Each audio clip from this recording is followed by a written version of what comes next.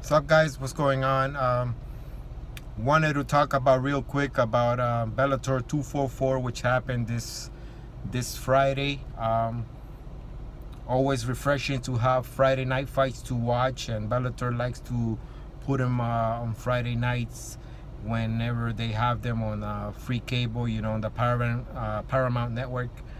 Um, it was a uh, particularly I want to talk about uh, the main event it was uh, I was looking forward to it. It was uh, Bader finally um, defending his light heavyweight championship. You know, uh, I think it had been like three years since that guy got it, and he hadn't defended it, which I find it ridiculous. Uh, this one of the things that Bellator does really bad. Coker, you know, he lets title holders um, stagnant for so long. You know, they don't fight. And it sometimes it goes over over a year you know two years and stuff and for Bader. Since he went after the heavyweight championship he was neglecting you know um, the light heavyweight which he won a while back.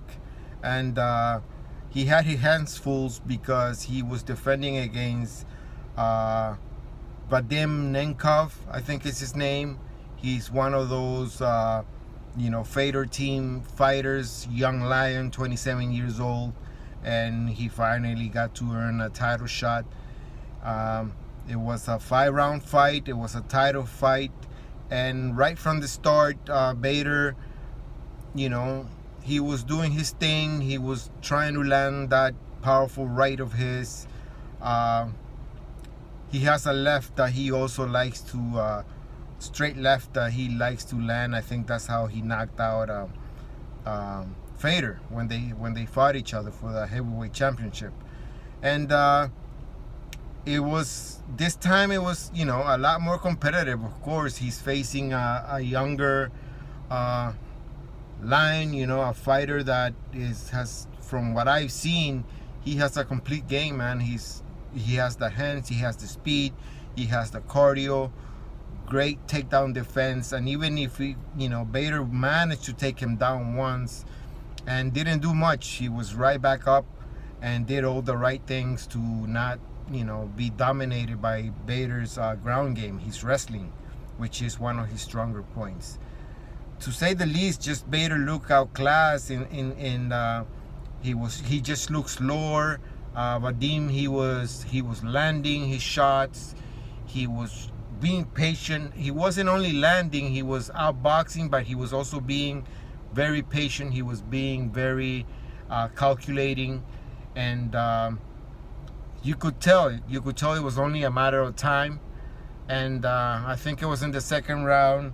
He um, he landed this head kick that just you know basically you know the the strike was you know in the back of. Uh, the the kick landed in the back of uh, of Bader's head, and it just it knocked them down. And from then on, Vadim went for the attack and looked for the finish in that Fedor style. Man, he you could tell he has that Fedor training, man. That he probably tells them if you got him in danger, you try to finish that fight at all at all costs, and that's exactly what he did he started landing he started going after Bader. He wasn't letting Bader breathe to his credit Bader was trying to fight him off. He was trying to get up. He was trying to block. He was trying to dodge. And I thought for sure the the referee was going to stop the fight. Um, to his credit though the ref let it go understanding that it was a title fight understanding that you know the you know uh, Bader was not out. He was very conscious. He was he was right there trying to trying to defend trying to get up. But uh, Vadim did a great job of not letting him up. He mounted him against that fence. He kept on landing kept on landing. Bader the strong you know guy that he is he stood up and he was trying to get away and Vadim just went after him and landed this left on him that you know knocked down Bader and the ref called it and that, that was the end man uh, new light heavyweight champion I think the first Russian light heavyweight champion uh, for a major organization, uh, this time being Bellator. And he shows a lot of promise, man. He's young, he's 27.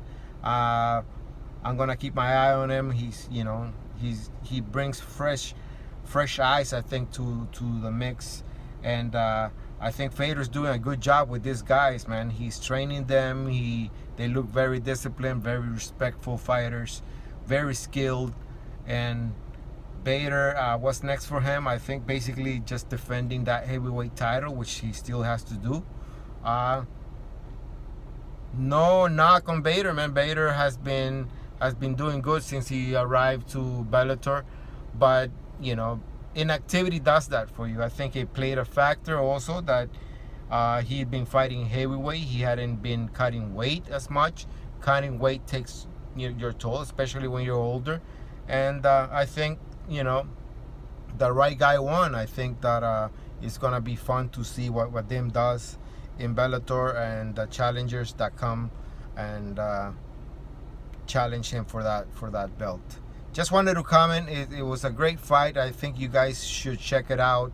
Uh, I'm one of those guys that don't only keep my eye on UFC. I also like to watch Bellator. I like to watch other organizations, other fighters. I'm not a UFC fan per se. I'm a MMA fan, so I keep my eye on on, on the other uh, the other organizations and, and like to support them too. You know. Um, anyways, thank you for watching and hearing me out. Uh, give me likes, dislikes, any comments. Let me know, please. Thank you for listening. Peace.